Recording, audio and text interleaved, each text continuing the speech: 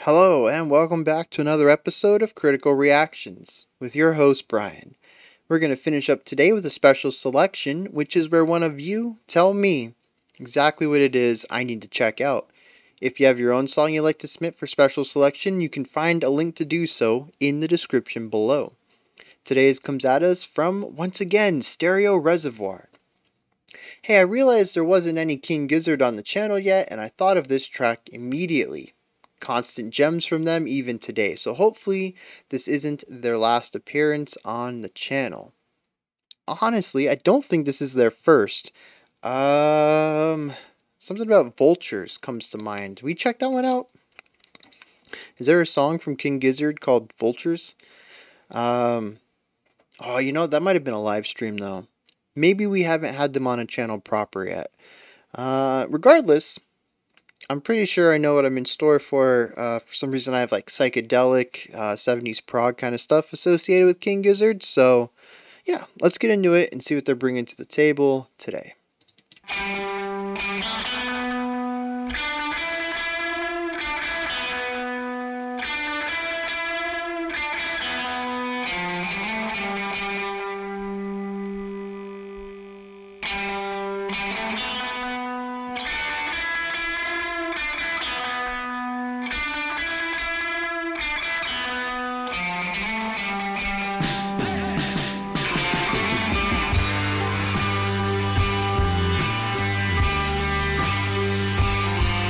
Have a bass, fairly prominent. We have a guitar, drums, and a sitar.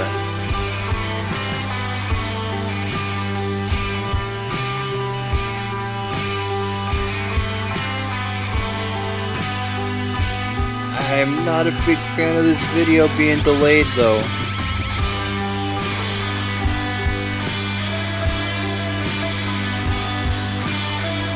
Hearing the snare hit before actually seeing the snare hit is very disorienting.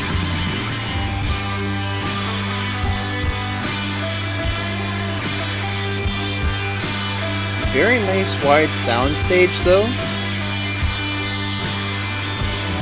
It certainly feels like the music uh, completely envelops me.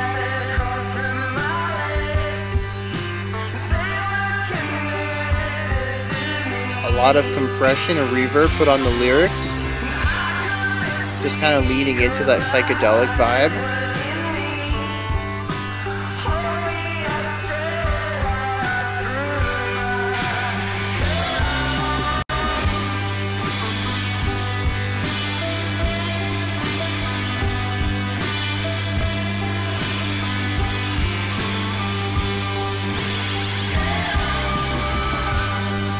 Hear that bass?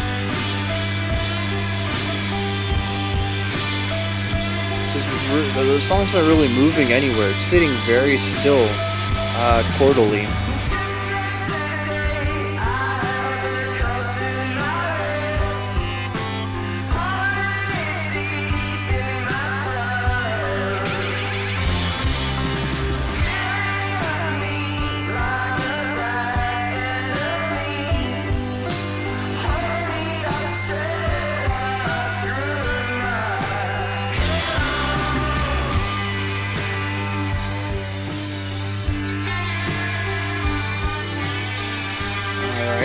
Microtonality.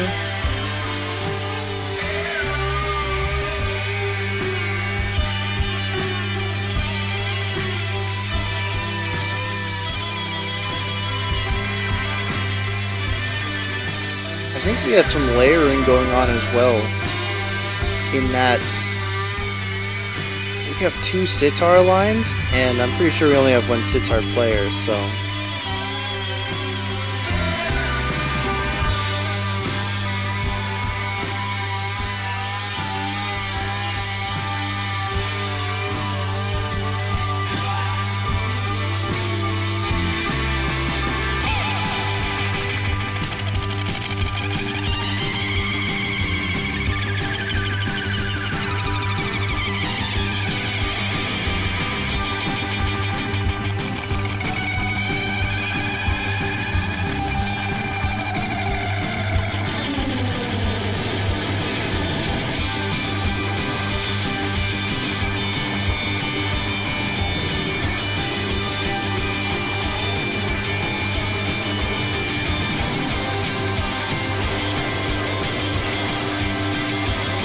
they have two drummers?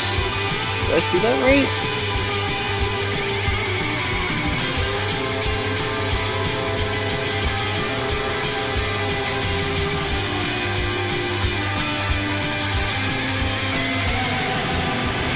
Just a lot of chaos in that last section.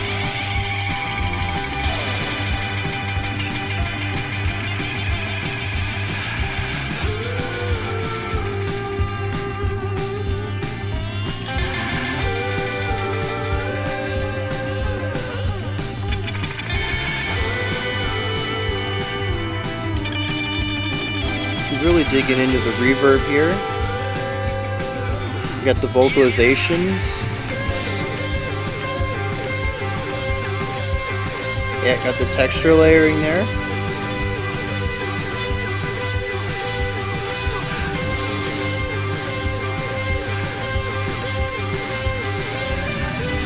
Okay, so we're vamping back and forth on these two chords, which is movement that we didn't have before.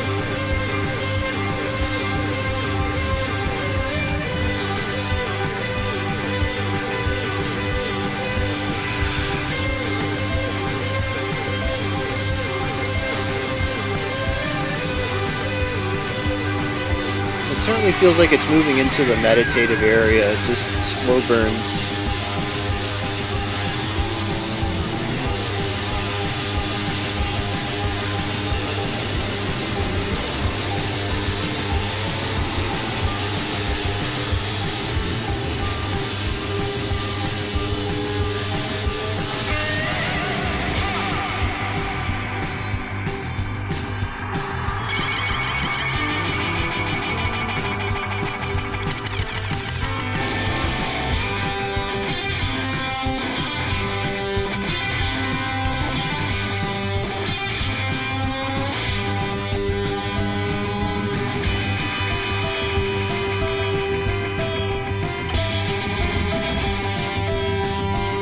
Got that little bit of a, a polyrhythm right there.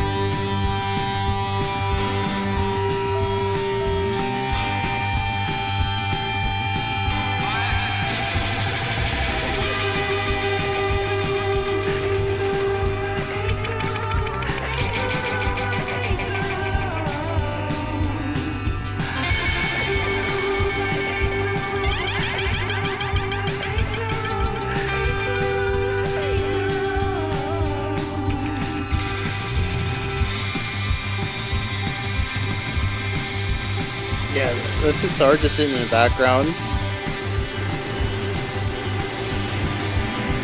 Just bouncing back and forth between those two notes.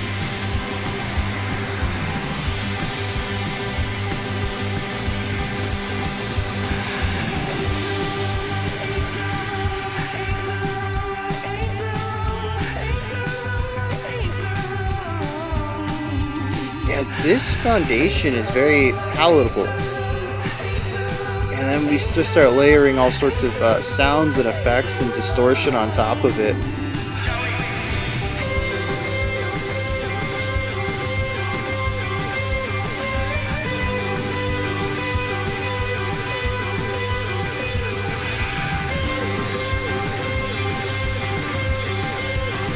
Interesting fuzzy sound there.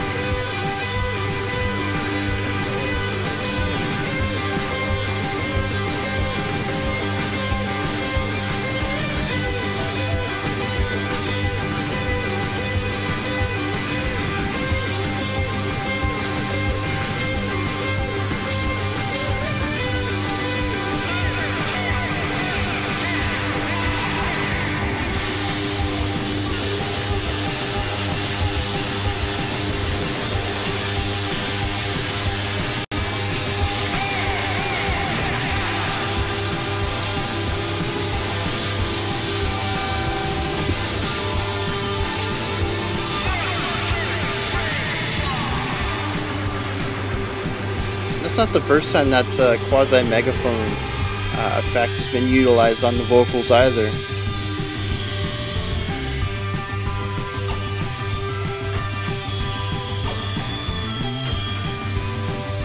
Now see, I see the bells, but I don't hear the bells.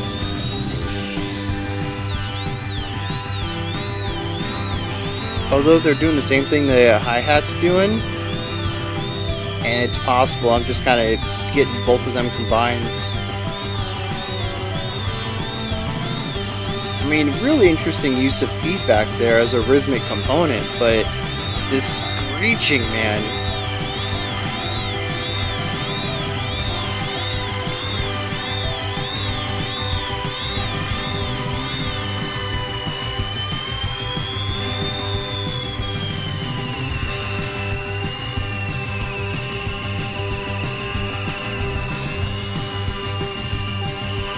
Yeah, see, I really don't hear much different on the hi-hat, uh, and visually he's not doing the bells either, so I wonder if the visuals were just displaced time-wise, uh, or what was going on there, because the visuals haven't always lined up with the audio anyways.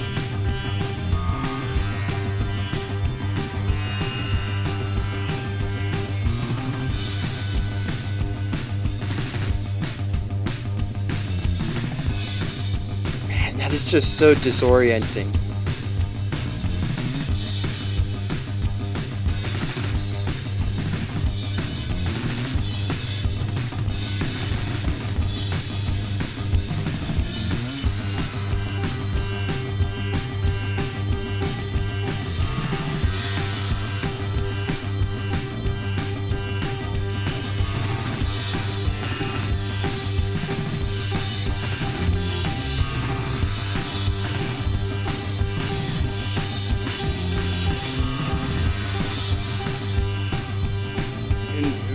Right here, they've just decided to cut out all melodic momentum and just play the foundational bits.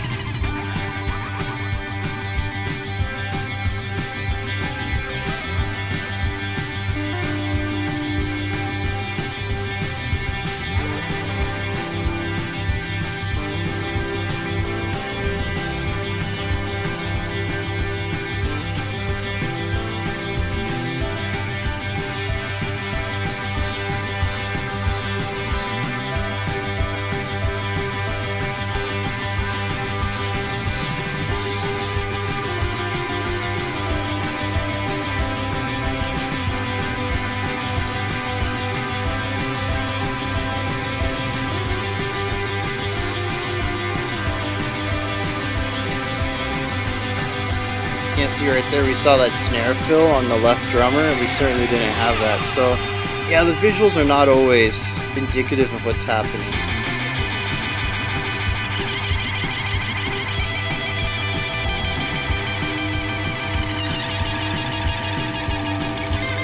A lot of oddities going on here.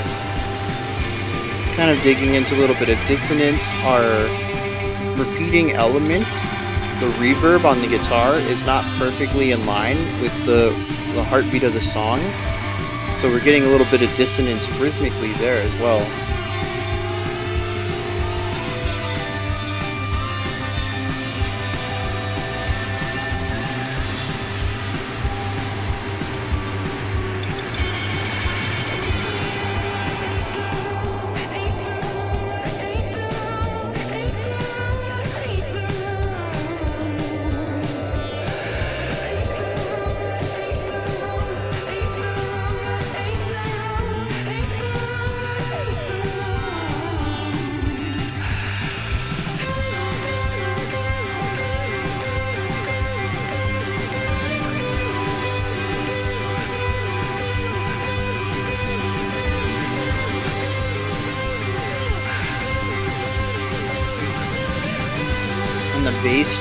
Hammering home that one note. Well, we do bounce back and forth between two chords here, so two notes.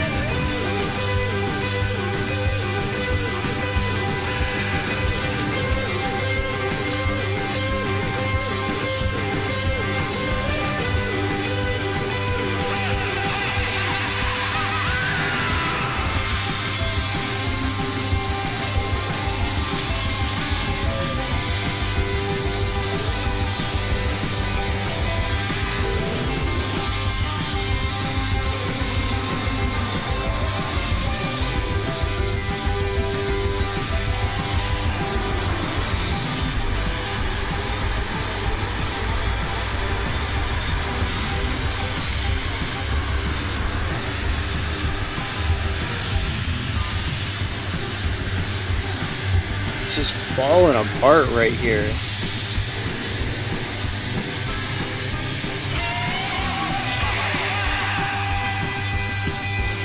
Okay. I kind of thought the song was going to end there. I don't know how close we are to the ending, but I was not expecting it to line back up.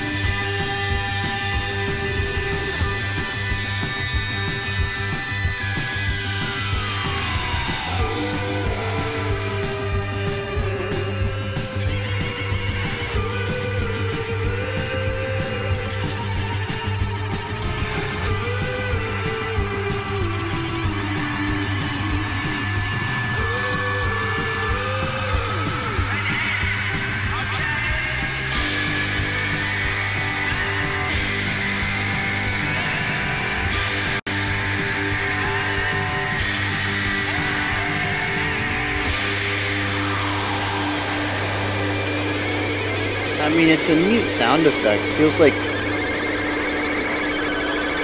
something washing over me, but man.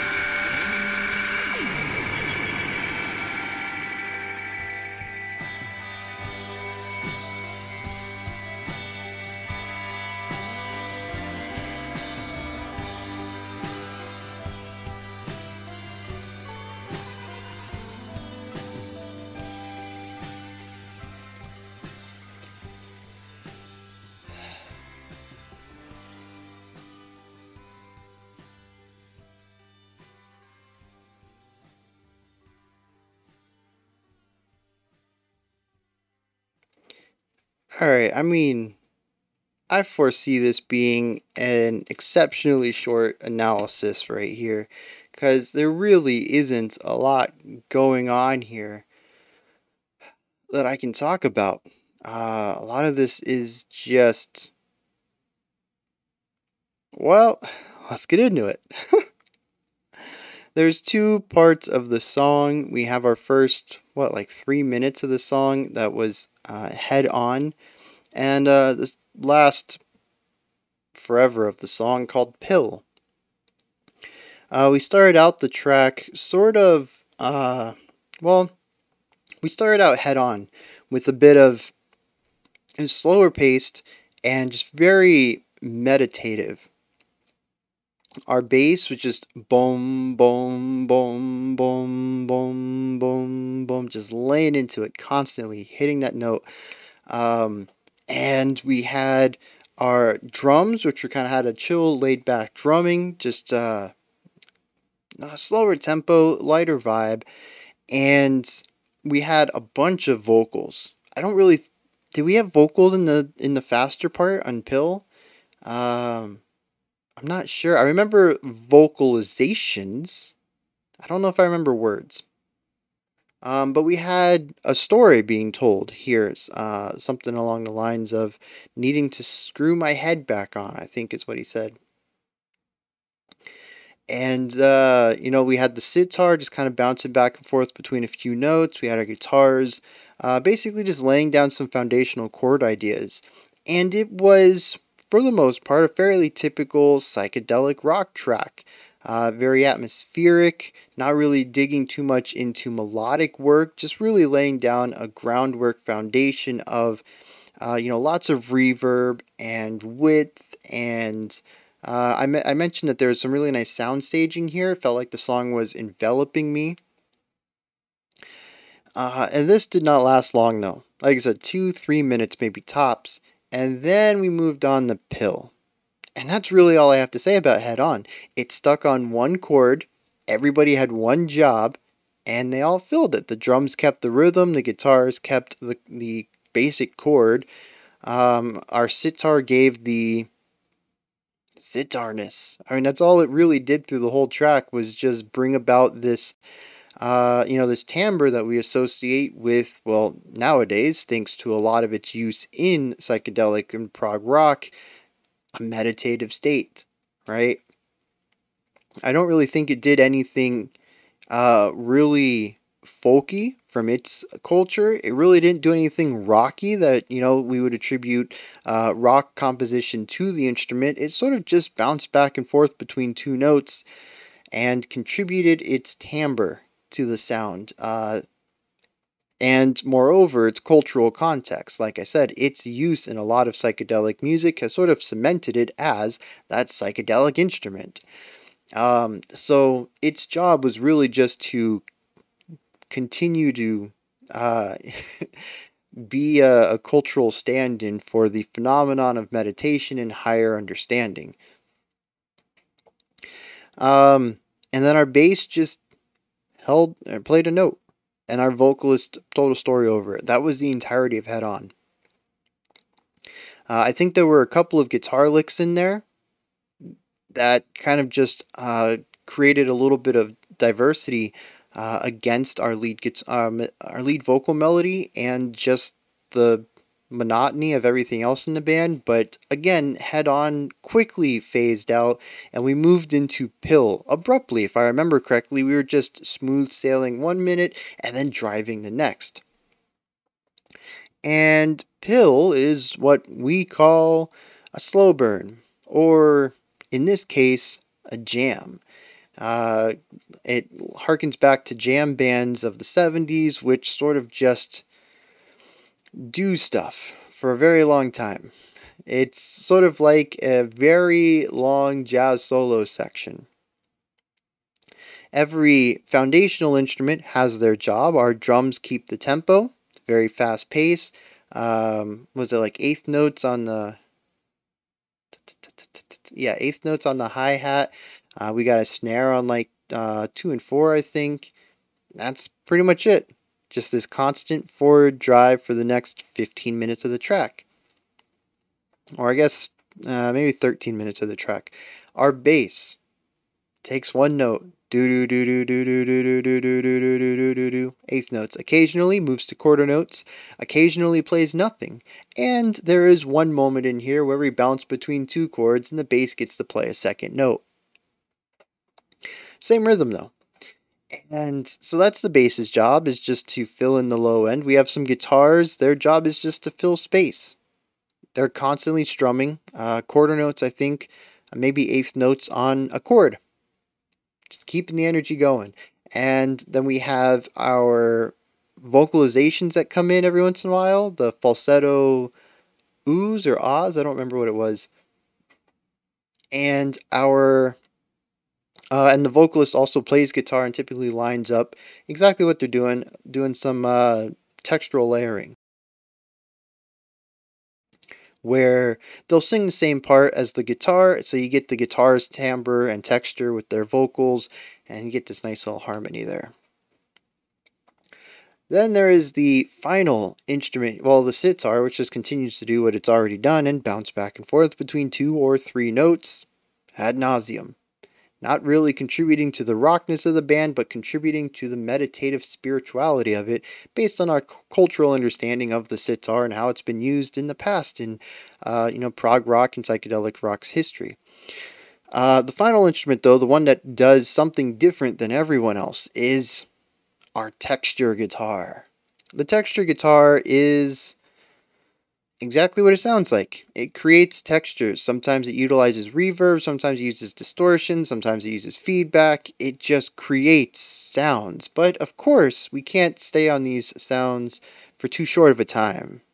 Every new idea must be accompanied for several minutes.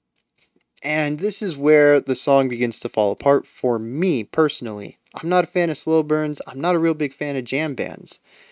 Um, and here's why. Okay, so I, I don't know if I've explained this before. I prefer intention. And it's not to say that this is intentionless, but it's intentions. Okay, so maybe intention's not what I prefer. I prefer direction. Because the intention here is to fully explore a single sound, and they achieve that 100%.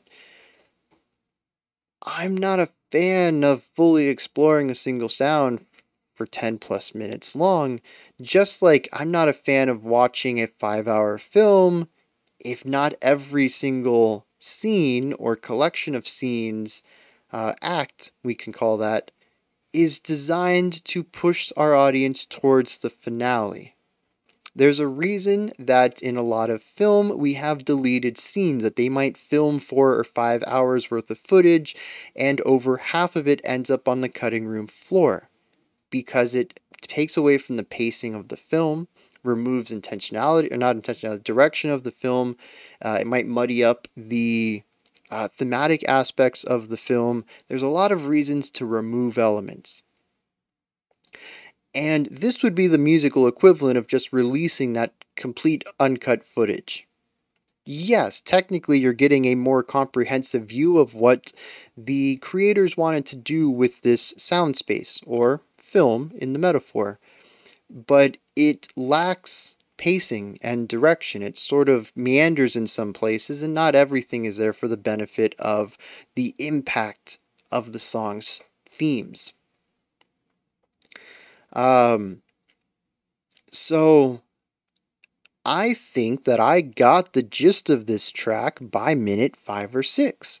And I don't think that the next 10 minutes really changed my understanding of it. So it felt like it was lacking meaning. No, no, no, no, no, no, no, no. I know people are about to hit in the comments, bro, you don't even understand meditative music. I get it. But you also have to okay, so uh, I'm going to help out. I'm going to like help myself understand and maybe help you guys understand my point of view here. This is meditative music, or at least that's how I envision it. That's how I envision a lot of people who listen to it might interact with it. It helps them, you know, turn off all of the outside stimuli of the world and maybe they put their headphones on or crank their speakers up and sit in a comfy beanbag or something and forget about their worries and just allow the music to take them on a journey.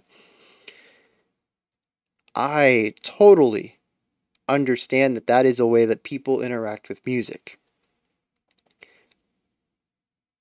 To me, that is a functional use of the music. It is uh, a music for a given function to help one meditate or relax or calm down or clear their minds. I approach music both in critical, here doing these reactions, and casually on my own, typically as art, which means that I view them uh, and my biases towards them are going to be based in how they work within themselves, not what they can do for me. So I can totally understand that this song loses a lot of its meditative usefulness if it were only five minutes long. But from an artistic perspective, assuming that the song is designed to tell a story, which of course I don't believe it is, but that's how I tend to view music, and I understand it is limited. It makes it difficult to speak about long form, jammy, psychedelic, uh, meditative tracks like this. This is something I've had a problem with, even going all the way back to checking out Tool's Pneuma and having negative uh, comments to make about the super long bridge section that I felt didn't really go anywhere. Um, I need or I perceive that every section should be utilized to craft the song's vision and to tell its story. And here it felt like it told its story and then repeated the last sentence over and over to fill a novel rather than being a short story. And that's what it feels like to me. The entire last nine, ten minutes of the track feels like padding because the story is told, they're just reiterating themselves over and over and over, sometimes changing a word in the sentence, but for the most part, not saying anything new. And I really hope that that helps, especially longtime fans, understand the resistance and friction I have towards these slow burns. Uh, it isn't necessarily that I always need the song to be moving forward. I don't need, uh, you know, car bomb or between the buried and me and everything every single thing I listen to. In fact, I often find that to be overwhelming, but I do need everything to be moving forward in a direction to support the overall story that they're telling. And like I mentioned, I understand that that is a limited way to view music. Uh, not every song is designed to tell a story. But that is how my brain is wired to work is that I'm looking for the story in the music. And so when I end up listening to a track like this that ends up being the same thing for a vast majority of the song, where it's more about the band jamming together or existing together or creating a sonic uh, texture or atmosphere for the listener to just get involved in and not have to worry about coming out of, I find that they're paced poorly because I feel that the song is fully done before they, the artist, decided that the song was actually over. And that's where I'm running into on Pill. I think Head On was interesting. It was decent. Uh, it was well paced. And we got into Pill, and I thought it was an interesting thing to go into. Uh, I think thematically it works well as a, uh, a companion piece to Head On, but I also felt that about six minutes into the entire thing, I had heard everything Pill had to offer. And I mean six minutes into the whole thing, so we're talking like three or four minutes into Pill. I had heard everything it had to offer, and everything else was just padding. I was waiting for it to get to the ending or the next idea or something, and it never did. And by the end of the song, I said, well, they didn't really present me with anything new. Why would we continue on like this? And of course, you know, it's they're they're going for a very different direction, a different intentionality than telling a story. And I, like I understand that fundamentally. My brain doesn't understand it. I was very bored through most of this. Um, and so, yeah, I just want to kind of clarify that. Hopefully, it helps you guys understand where I come from on these uh, slow burns and give you guys a little insight into my mind, and also tell you that I do understand and appreciate uh, y'all's perspective. Uh, you know, the people who really enjoy this kind of music uh, or these long form slow burns. I, I do my best after reading all these comments to really see the music through your perspective. And while I appreciate it as a valid way to listen to music, of course, there's no right way to listen to music, just like there's no right way to make music. I just, my brain is not wired that way. Um, so I figured this would be a really good song to dive into that because everything kind of clicked for me here and, and hopefully a way that I can say it to you guys and um, hopefully help you understand. Um, so with that said, I think that wraps up the analysis. I explained what happened on Head On. I explained what happened on Pill. Uh, I do want to say one thing before we dive into the lyrics, though, is that I really enjoyed some of the inventive ideas they had going on in Pill. Um, particularly, one that stood out to me was utilizing feedback as a rhythmic structure. Uh, you know, I've heard feedback used as a texture. You know, you hit your chord, you turn around, you point your guitar at the, you know, amp or whatever, then you back off and you get that that that fuzzy warmth plus a little bit of that that sharp pitch and then you pull off and you go you know you finish out the the riff or the song or the section or whatever. It's a momentary texture usage.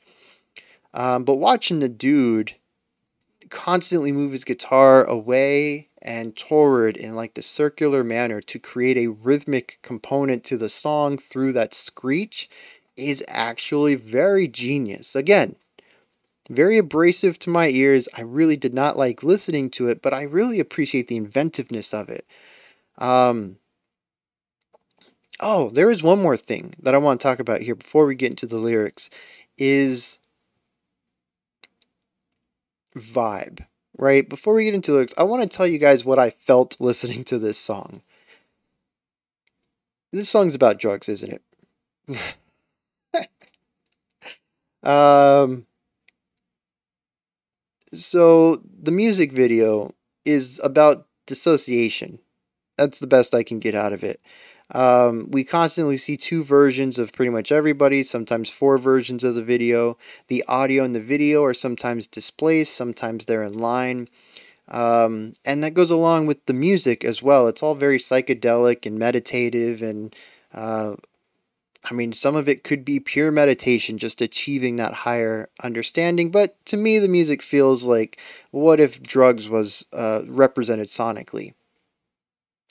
And uh, of course, you know, the song's called Pill. And the one line I picked up in the first track was, I need to help get my head screwed on straight or something like that. Um, which again, disassoci- disassociative ideas, right? Having your body split apart into multiple pieces. Um, and then, so Pill is a lot of very psychedelic, reverb filled uh, sections that, for the most part, are palatable, but occasionally will bring in these odd dissonant ideas. Uh, sometimes it's a guitar just kind of wailing on the side. Sometimes the song just starts to completely fall apart. And to me, like, this is what I would kind of assume sonically would represent uh, the parts of a drug trip where things start to go a little sour. Maybe your brain, uh, you know, isn't in that positive, happy place anymore. And now it's kind of like dipping into some sadness or fear or anxiety. And of course, the drugs are amplifying that. And I really felt at the end like it was just to, not at the end, like two minutes before the end, when the song started to fall apart and everything was breaking. Like, one, I could have taken this as, uh, you know, coming down from the high, right? And returning back to the mundanity and uh, pain of existence. And no, we got right back into it. I mean, I, I guess we could view it as taking another hit of whatever drug and bringing the high back. But it's really interesting that they decided not to go that route and end the song on this deconstruction and to go right back into the uh, you know the full idea and go back into full swing for another two minutes or something like that. Um, but yeah, th- that's that's the vibe I get from this. This is this is a drug trip in sonic form, um, kind of all of the aspects of it the meditation the meditative element the uh, higher understanding being able to see extra stuff man uh, opening my third eye and uh, you know also the, the negative aspects of it though as well. Um, just kind of bringing it all together in one song or one idea i guess it's technically two songs. So yeah, that's what I've got about the music, the individual elements of it, the overall vibe, and hopefully just a little bit of help connecting with you guys and giving you a, a moment to understand where I come from on tracks like this. I really do try to come at them on their own terms, right? And try to listen to them through other people's perspectives. That's really hard to do, by the way. Uh, I do appreciate what they do and what they're going for. It's just not my kind of music. So, on to the lyrics. We're going to start with Head On. Just yesterday, I sat across from my legs. They weren't connected to me, and I couldn't see because my eyes weren't in me. Hold me up straight while, my, while I screw my head on. Yeah, I mean, disassociative right there. Uh, and I definitely, I mean, I was gonna say definitely think we're talking about drug use here, but uh, nothing there really mentions it uh, per se. But yeah, sitting across from your legs, your eyes not in your head, needing to screw your head back on. Yeah, definitely elements there of um, disassociating with one's body. Just yesterday, I held the cup to my lips, pouring it deep in my throat, filling up me like a black enemy. Hold me up straight while I screw my head on. That's it. That is all of head on. So maybe not drug related. But then we get to pill. Uh, bridge one is yep.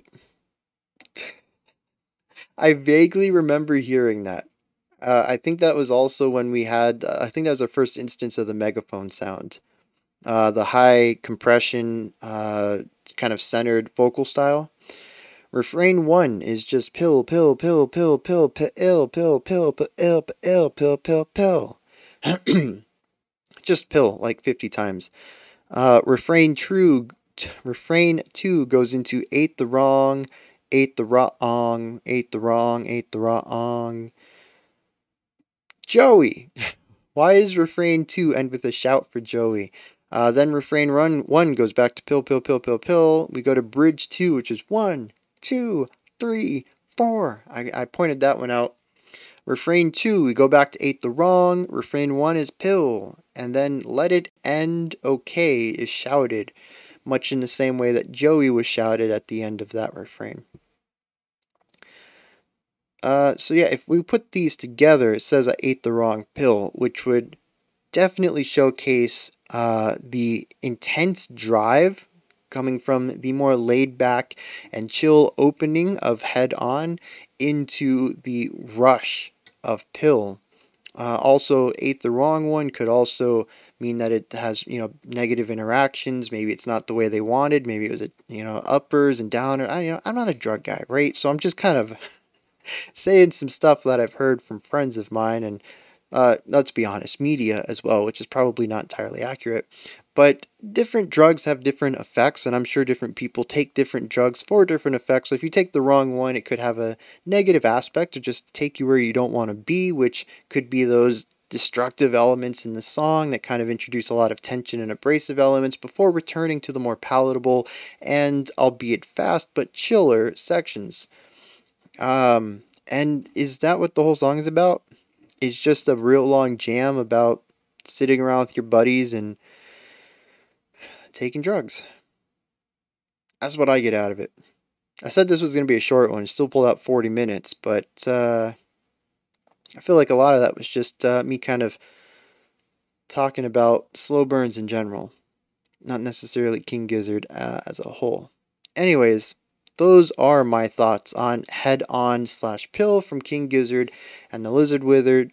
The Lizard Wizard. This is where you guys come in Hit me up with your comments. Let me know what you thought of this one, if you enjoyed it or not, anything that stood out to you. If you want to comment about my perspective on slow burns and open up a discussion about it, I'm all down for that. As I've said before, I read all your comments and I certainly see people's uh, their takes and their perspectives on songs like this that we've done in the past that they've really enjoyed that I just didn't connect with. Um, but I'm always down to talk more about it. I don't know if you guys know this about me, but I really love talking about music and art in general. so I have no problem opening up a dialogue that I think could help me or even other people get a, a larger idea and expand our horizons on how people interact with art. So, yeah, I'm always down for that. Above the comment section is a description box. You guys know the drill. In there's a link for Linktree. Takes you to this menu. You can pick up some merchandise. You can uh, do some other stuff. Twitter, Patreon, special selections, email, uh, Discord, a bunch of stuff in there. Go ahead and check it out. Above that, if you could, like, subscribe, and ring the bell. Greatly appreciate all three of those. All right, that wraps it up for today. We'll be back tomorrow checking out another big shift track as well as another special selection. Until next time, remember to be critical but not cynical of the music you listen to, and have a fantastic morning, afternoon, or evening whenever you choose to watch my videos.